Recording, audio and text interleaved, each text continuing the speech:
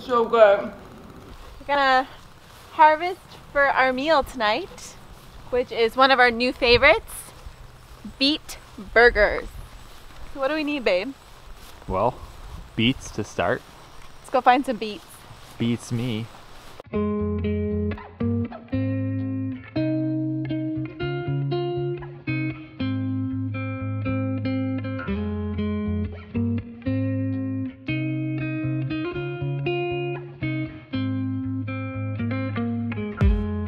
Maybe an onion? Let's get an onion. Let's go ahead and this guy. Good size onion. I'm also gonna grab some thyme. So we've got some lemon thyme.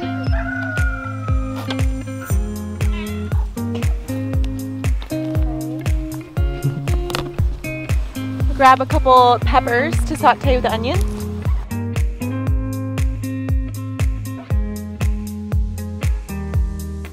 Gonna grab a couple poblano peppers.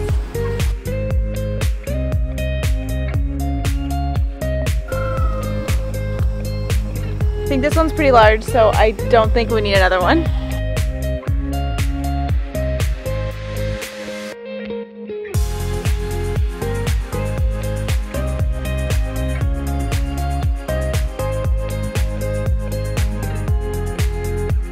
Pick one of these Black Beauty tomatoes. So pretty.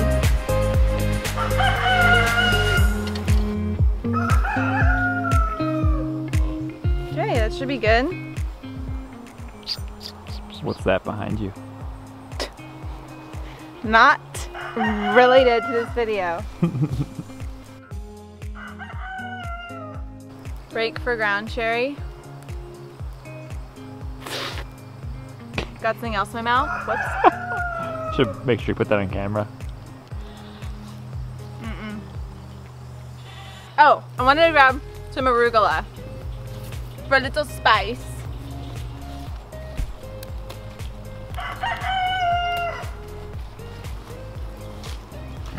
Wow, I can taste that just by picking it. The arugula? Yeah.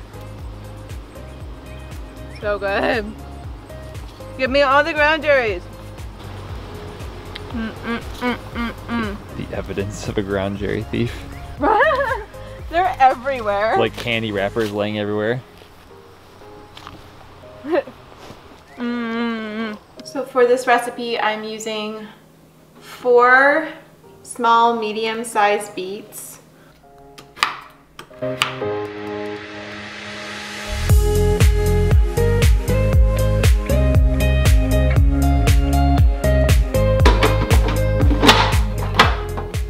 Don't want to wear white when you're working with beads. Make your hand all pink. So I'm just gonna go ahead and put it in the food processor with the shredder attachment. It's displayed right here. Put it in like that. Oh, no. No, not like that. Like that. and then put it on high. And it shreds it. Super easy. I'm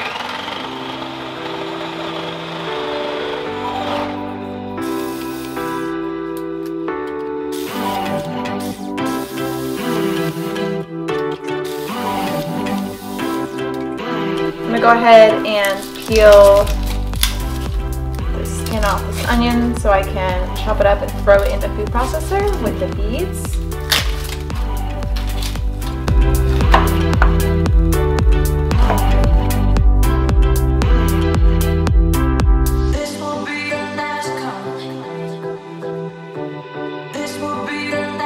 Should make you cut onions. This will be the last call. Twenty minutes, you're done here. This will be Oh goodness. I didn't know I'd get so emotional. this will be the last call. One medium onion.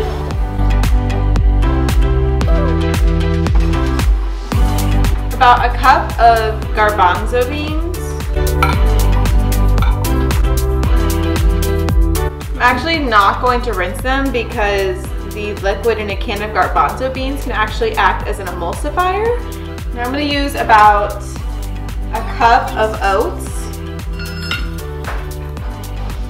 and three quarters cup flour.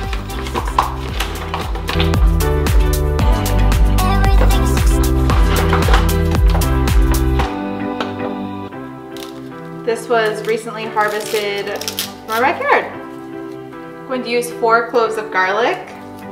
Just getting those peeled so I can mince them.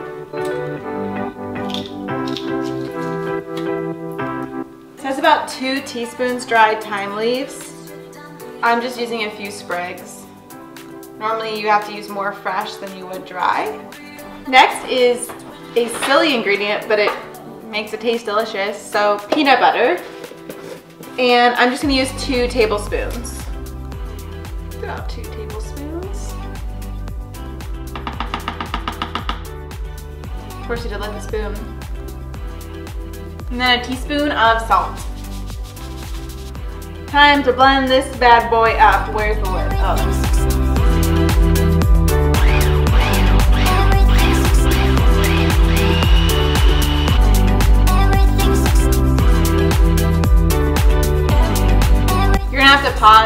Down the sides quite a bit, especially if you're making a big batch like I am.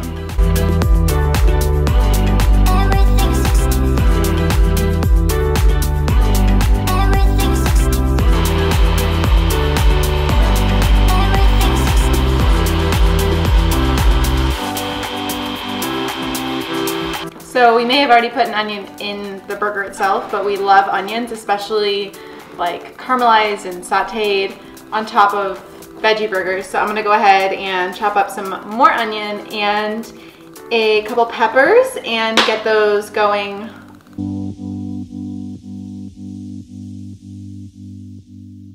And I'm obsessed with the flavor of poblano peppers. And I'm just gonna chop up a green bell pepper. I've been feeling so small. So let's go ahead and add the peppers and onions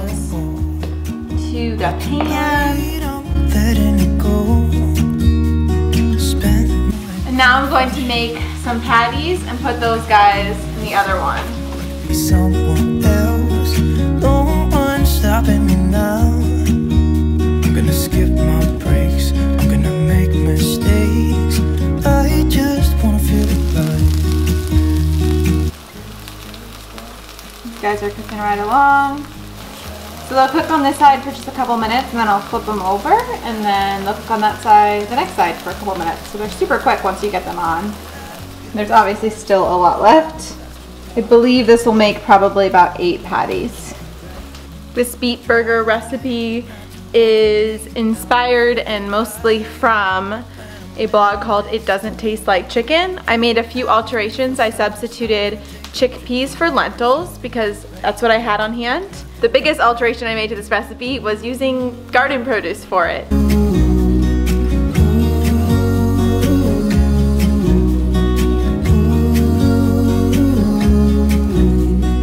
Look at beautiful stars. I want city looking fun,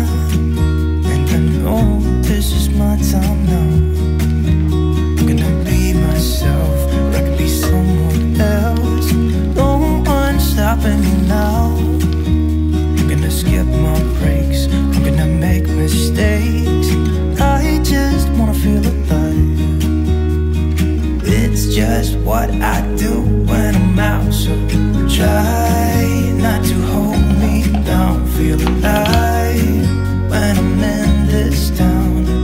Look at these beautiful stars. I wanna drive a faster car.